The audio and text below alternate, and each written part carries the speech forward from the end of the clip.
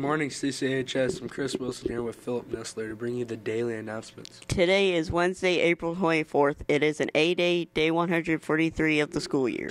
Today's quote comes from Peter Drucker. He says, The best way to predict the future is to create it. For lunch today, we will be dining on goulash with meat, fresh lettuce salad, mixed fruit, French bread, and milk. Let's take a look at the standing announcements. Seniors keep checking the scholarship list. Several deadlines are approaching. It's time for new member applications of YAC, Youth Answering the Call of the Community. Freshmen that are going to the sophomore to be sophomores need to apply. Check your email and their Facebook page for the application. January driver's ed class, you will have class on tonight from 6:30 to 9:30 p.m. to finish up the session. See Mitchard Jameson with questions. Sign up for driver's ed for this summer. Registration deadline is May 3rd. Sign up is in the office. Students taking classes at SWIC for the first time next year will be taking the AccuPlacer at SWIC the morning of Thursday, May 2nd. Specific information has been emailed to the students involved.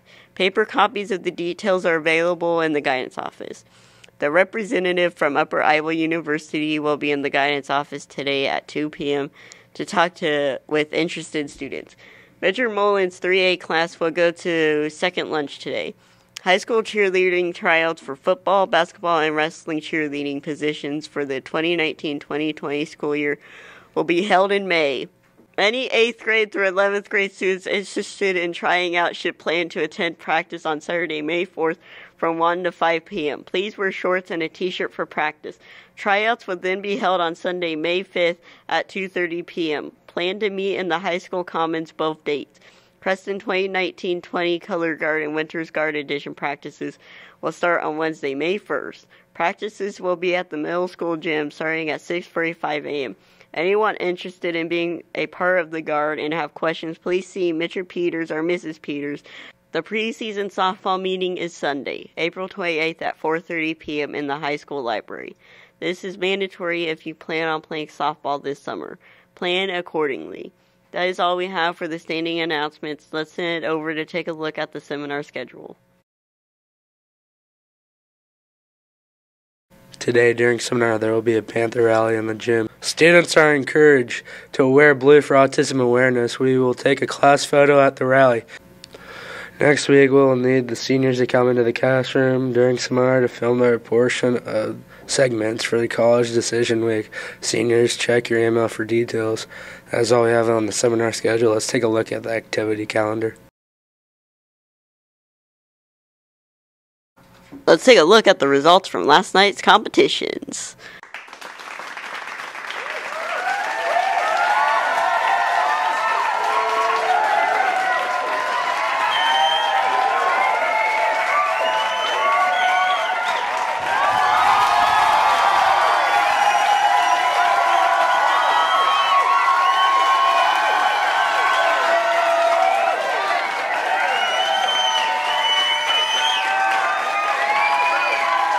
Tomorrow, the JV boys golf team will travel to Carroll for the Kuemper Catholic Tournament. Athletes need to be dismissed at 1 for a 115 bus. Competition will start at 4. The girls track and field team will travel to Carlisle for their meet. Athletes need to be dismissed at 1:15 for a 1:30 bus. The field events will start at 4:15. The girls tennis team will host Shenandoah. The duel will start at 4:30 at the SWIC tennis courts. The boys tennis team will travel to Shenandoah to take on the Mustangs. Athletes need to be dismissed at 2 for a 2:15 bus. Tennis will start at 4:30. Kelsey Fields will be competing at Drake Relays and Discus, the top 24 athletes from around the state. All classes qualified based on their furthest throws of the season. Kelsey will throw the discus at 4. Check the Creston Girls Track and Field Facebook page for updates on her progress. On Friday, Kelsey will be back in action at the Drake Relays as part of the 24 athlete field in the shot put. Kelsey will throw the shot put at 8:30 a.m. Check the Creston Girls Track and Field page for updates on her progress. The girls tennis team will take on Clark at home. The meet will start at 4:15 at the Swick tennis courts. The boys tennis team will travel to Clark to take on the Indians. Athletes need to be dismissed at 2:30 for a 2:45 bus. Tennis will start at 4:30. The girls' soccer team will travel to Denison to take on the Monarchs. Athletes need to be dismissed at 1.45 for a 2 o'clock bus. The varsity game will start at 5, followed by a plus half JV game at 6.30. The boys' track and field team will travel to Red Oak for their meet. Athletes need to be dismissed at 2.45 for a 3 o'clock bus. Field events will start at 5. Saturday, the girls' soccer team will travel to West Central Valley for their tournament. The start time is still to be determined.